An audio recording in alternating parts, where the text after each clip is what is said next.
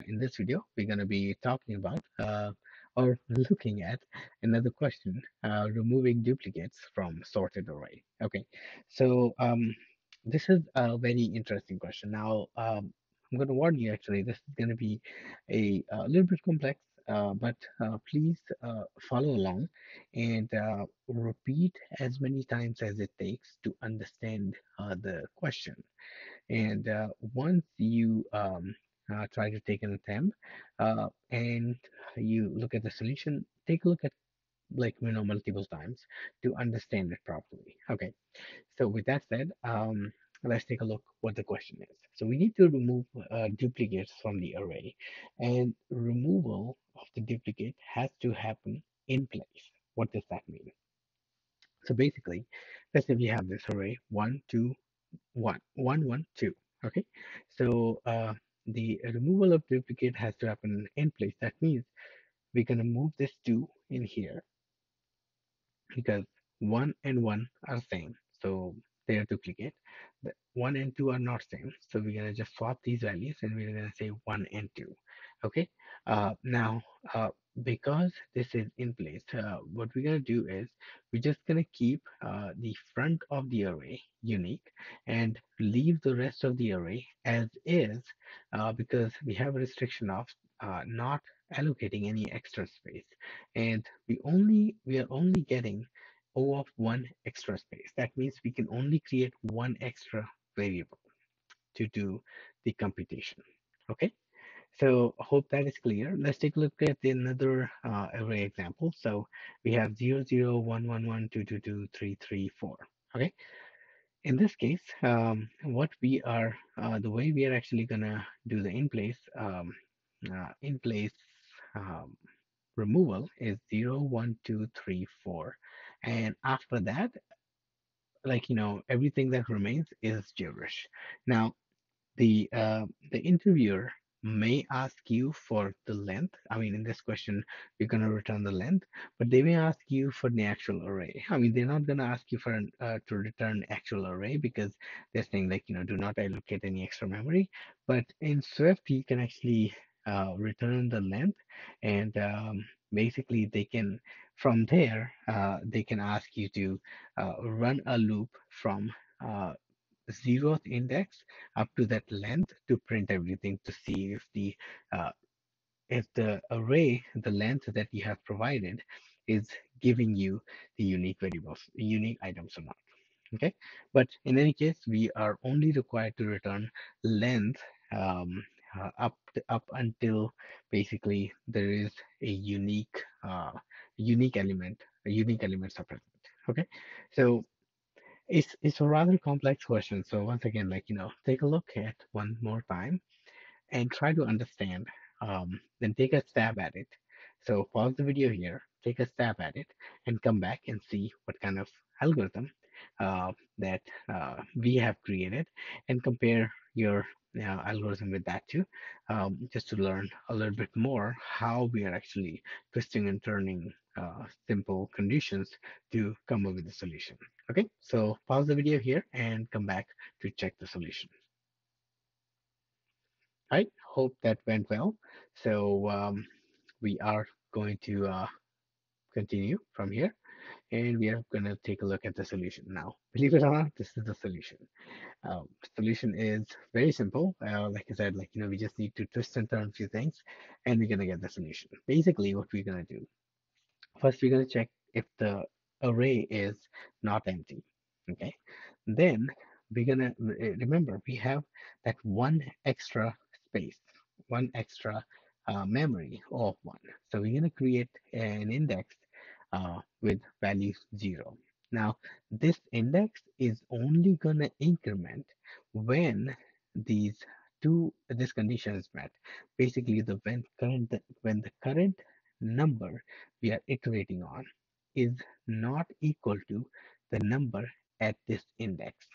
Okay, so initially, when you're going to actually loop into so let's take a look at this example so when you enter the loop you're to say uh, index uh, value of the index is zero and current item that we are iterating over is one so you're to say array uh, one is the item and array of index 0 is also 1. So 1 is equal to 1. That means this condition does not satisfy. So we're going to basically continue. Then we reach here. So 1 is um, uh, the item and array index is still at um, still at 0. Okay. So sorry. Um, the array uh, the array uh, here, uh, so index value did, did not change. Um, so the uh, this value is item is one and array at zero is also one. Okay, so this is going to continue forward. All right. Next, we reach at two. The item is two. Okay, and then your um, index is uh, still zero. Okay, so 1 and 2, uh, so basically index zero, one, and 2 are not same. Okay, so first thing we're going to do is increment. So we're going to enter this condition. So we increment the index. So we increment the index by 1. Okay, and uh, with that 1 incremented, we're to take this value and move it at this location. So that's what we're doing. So we're saying in uh, number, basically the array, uh, and the index to get the index the index value has now increased to 1 um, and insert that number that we are currently iterating over. So we are iterating over 2 so we're going to insert 2 here. So it, this becomes 1 and 2 now we're going to loop over all the elements like that and we're going to return index plus 1 because index is uh, starting at 0 because arrays index are 0 based in swift and most of the other languages uh, the length is always plus 1 Okay, so that's why we are actually going to return plus one. So we're going to get that solution. So hope that made uh, like, you know, um, understanding a little bit more easier, like how this is actually working. If not, uh, let's take a uh, look at the uh, REPL um, to see the implementation and hopefully that's going to clear things up. So we're to create a function, remove dupes. It's going to take an array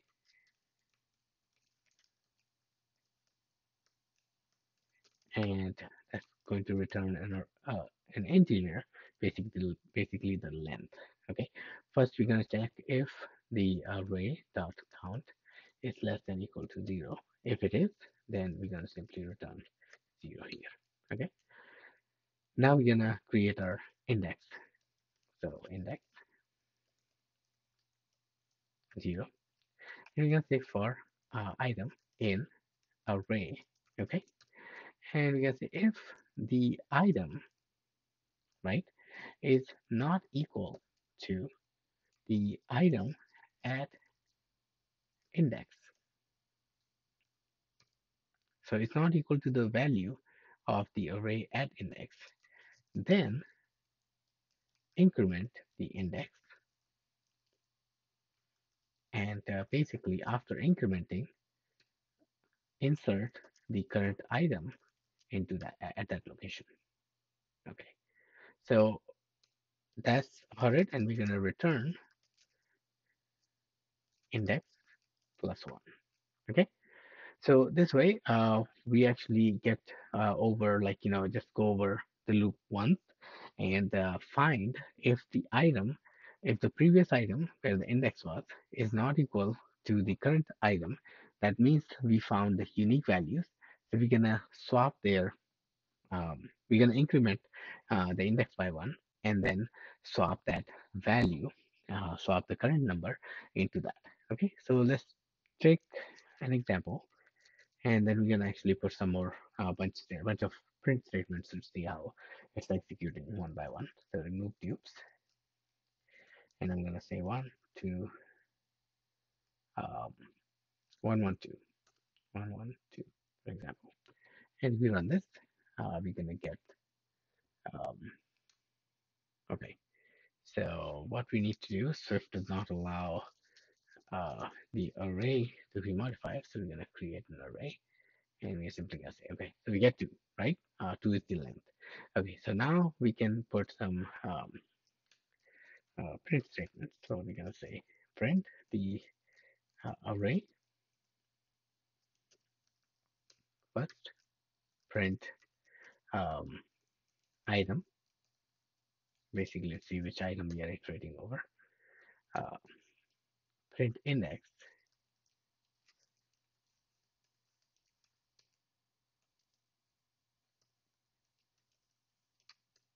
Okay.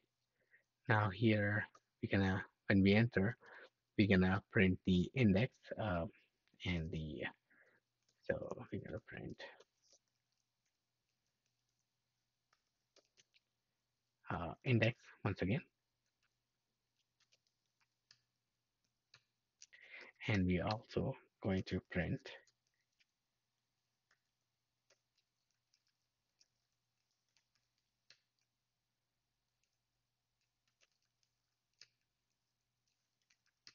array uh, item at that index. Okay, and um, then we should print our updated um, array one more time. Okay, because we are actually updating the array, we should see how uh, that actually looks. The newer one. Okay, so let's run it. And as you can see here, uh, initially the array was 112. Uh, the item was 1 and the index was 0. Okay. Then uh, our array did not change. Okay. So uh, we went over and uh, like, you know, entered the loop again. Uh, so that's what this is printing array again, 112. The item become 1. It becomes 1 uh, and the index is still zero because we haven't found the distinct value. Uh, now we went over, like, you know, and went to another array. Um, now in the next array, we printed 112 once again. The item is 2 now. Okay, so 2, that means uh, it's actually going to enter this because item is 2 and array at index, which is 1, right? They are not equal. Okay, so it's going to enter there. Uh, we're going to increment the uh, value for the index. Um, so index becomes from 0 to 1. Um, and then we insert that item into first index. So it the array becomes 1, 2, 2, and uh, the length becomes 0, uh, sorry, 2, right? So 2 is the length where we could find unique elements within our array. Okay. So with that example, uh, let me post, let me put this another, um, the big uh, number, big input one. Um, I can see how this one goes. So there's more detail, like you know, as you can see, and you can go over this. But eventually, uh, you're gonna get 0, 1, 2, 3, and 4 these are all the unique elements uh, at the beginning and all the discarded values are at the end and the length of the array becomes 5 okay so that's how we actually compute uh, we um, basically compute uh, or remove duplicates now uh, if your uh, if your uh, interviewer wanted what they could easily do is they could say um, i want to print all the unique numbers so they could say for i in um, 0, 2, or less than, remove dupes, right? And then you simply enter that and you say print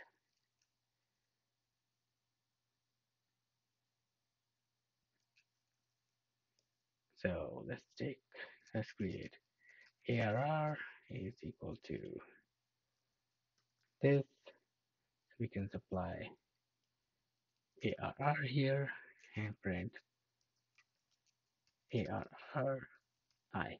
Okay, so whatever remove dupes is going to provide us, right? Uh, that's the length that we're going to run. Um, oh, or this this variable didn't never change. Um, oh yeah, so we we can do in and out. Um, so we can actually return two things. Uh, we can also, we can return a tuple actually. Or actually, you know what? Um, now, this is something that I'm gonna I'm just showing you like you know how you can actually print those unique values. So that's what that's what I'm showing you. But like you know, uh, just feel free to always supply your input as uh, as a part of the parameter. Okay. So what we're gonna do is we're gonna say var. So we're gonna take this one. and We're gonna say var array, right? And we're gonna remove this. Now we simply are going to remove this one. Don't need that. And um, now here we simply say array.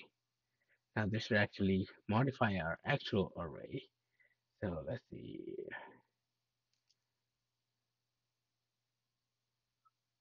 Oh, that does not take anything. Yeah, that's right. So this should modify array one more time. And we don't need this. There we go. So zero, one, two, three, four. Okay. Just to print uh, all those unique values up to where the length is. So that actually gives you the idea how you can actually get the unique values out of an array that does not have all the unique values. And uh, beyond that point that you get like, you know, the length, everything can be discarded. Okay. So that's your solution uh, of n time complexity once again uh, to remove duplicates from an array. Okay, so thanks again for watching and I'll see you guys in the next video.